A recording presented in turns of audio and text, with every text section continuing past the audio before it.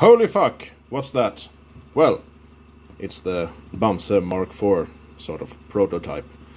Uh, this, if it works, if I manage to uh, finish it all the way, is better than the Mark III because it's simpler and it's easier to activate. It's quicker to build and so forth. It's a little cheaper. It only uses one hose clamp. Does not use the screw puncturing method, but instead to activate it, you would grab it with your hand and just push right here on the end of it, which will puncture the CO2 cartridge. You could also whack it against something hard, and it would go. Let me show you how it works.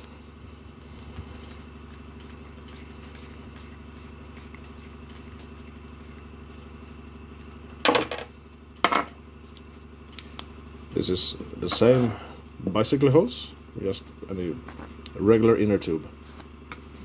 It uses the same kind of hose as the Mark III, and well, surprise, surprise, same kind of CO2 cartridge.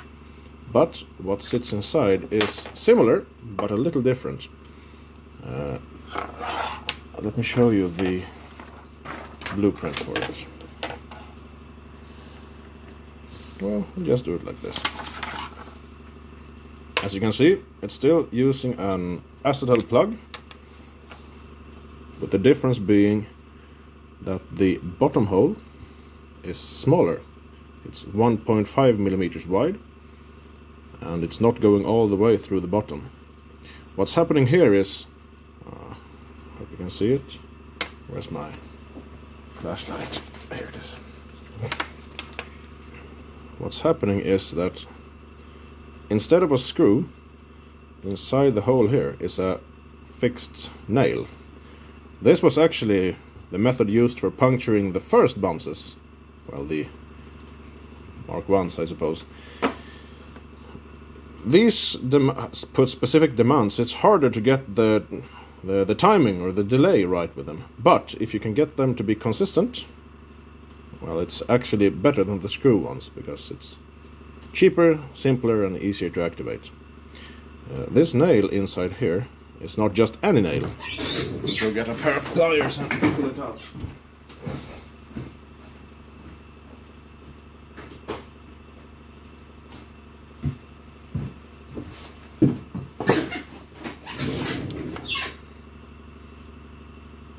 What kind of nail to use is a whole subject in itself.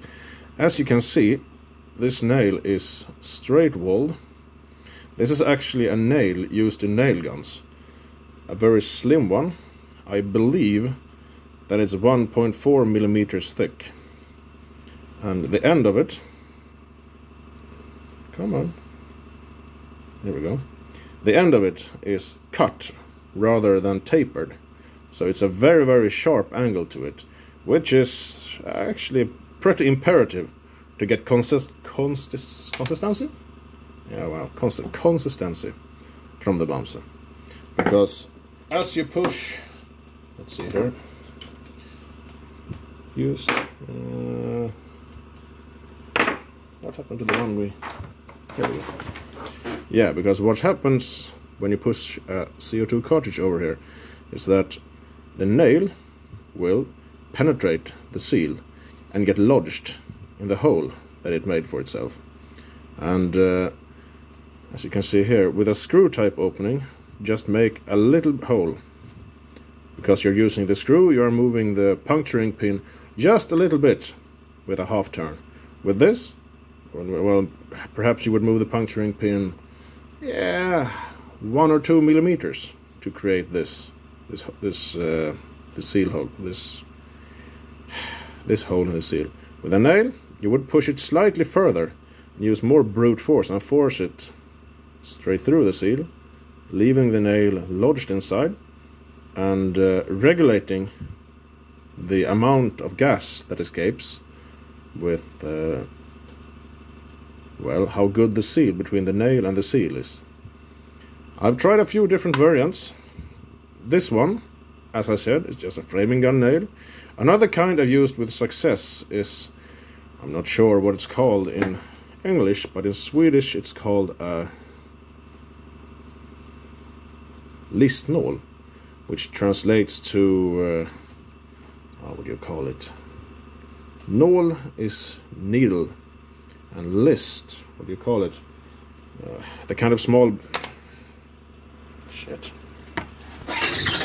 This right here is a list, small piece of wood used next to doors and like like.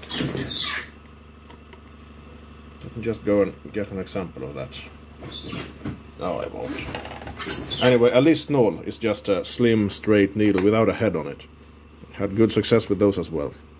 But, uh, as I said, this is a prototype. And so, still in the experimental stage. The idea here is that the nail will sit maybe two or three millimeters sticking up to here perhaps inside the unit or the puncturing device and uh, the CO2 cartridge will sit resting against it like this inside the tube. And when it's time for well to use the Bamse you would squeeze the CO2 cartridge over the nail puncturing it plop which in turn will release gas through the outer tube here uh, into the outer shell. So, if you have watched the Mark III video, you'll be familiar with this. This is just any kind of tube, rubber one, uh, wheat braided. Fit here is not very important, even less important here than in the, in the Mark III. Same tube though.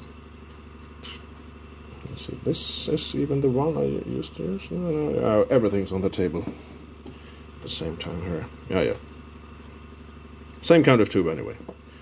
Uh, a hole is drilled here, 5 millimeters or so, going through the whole tube.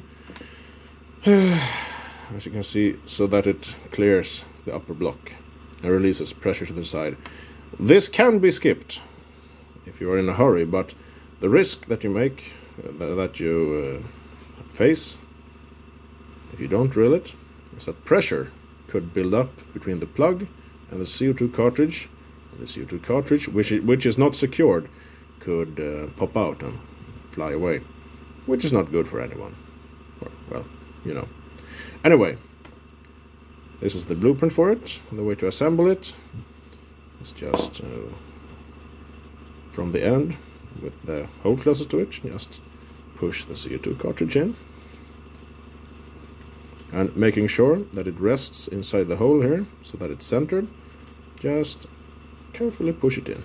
There's no risk of puncturing here. It takes a, a bit of force. Well I suppose there's a little bit of risk. And uh, that's actually it. This is a piece of bicycle hose. Was this the one I prepared? Yeah. Any kind you can uh, experiment with the length of it but uh, we would push the unit inside it. Fold the remainder of the hose up. Of course the length of this this is the minimum length that's required.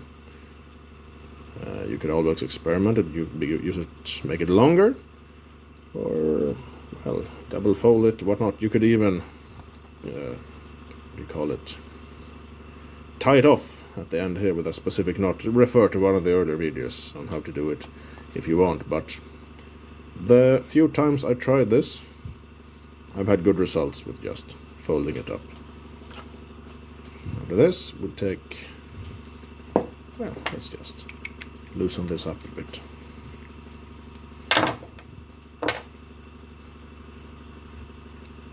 Fold this up. And put one hose clamp around it. And uh, what's so nice about this design is that this hose clamp really does all the sealing. So the risk for leaks here is very small. The usual problems with the Bamse is always that there's a small pinhole leak somewhere that lets just enough pressure out to keep the the burst disc from exploding. So this uh, holds the end plug in place and it seals between the plug, the hose, the hose and the bicycle tube. And the beauty of this is that the uh, the outer gasket itself keeps the CO2 cartridge in place. So how you would activate this, and remember, this is a working prototype, but if it works, it's pretty nice.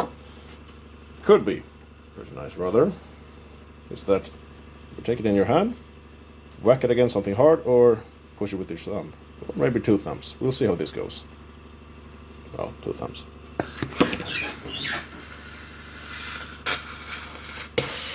Okay.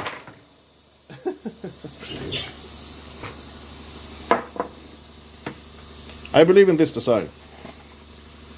It's cheaper, easier to make, and well, it's faster to activate. If you just have a little bit more power in your thumbs than me. Oh, fuck me. Here we can see the CO2 cartridge actually flew out, but you can also see the firing, or the firing pin, the puncturing pin here is actually stuck in the CO2 cartridge, and this is what uh, reduces the amount of gas that leaks out. Perhaps in a future iteration this should be secured inside the tube by uh, some means, but uh, my experience so far has been that this has stayed in place all the time and uh, well you could use a slightly tighter hose I suppose or just accept that this might fly out but this is as simple as it gets. Goody goody.